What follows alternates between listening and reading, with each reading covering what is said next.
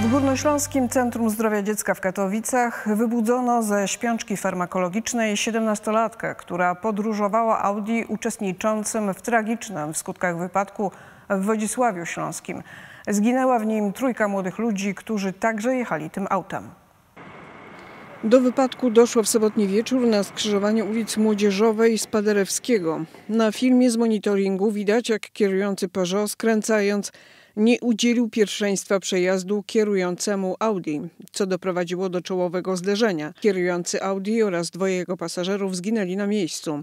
Dwoje pozostałych pasażerów Audi oraz kierujący Peugeot zostali przewiezieni do szpitala. Według informacji GCZD 17-latka przebywała na oddziale intensywnej terapii. Była w śpiączce farmakologicznej, nie oddychała samodzielnie.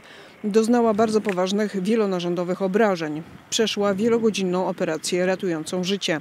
Jej stan lekarze określali jako ciężki, ale stabilny. Dziś szpital poinformował, że 17-latka została wybudzona.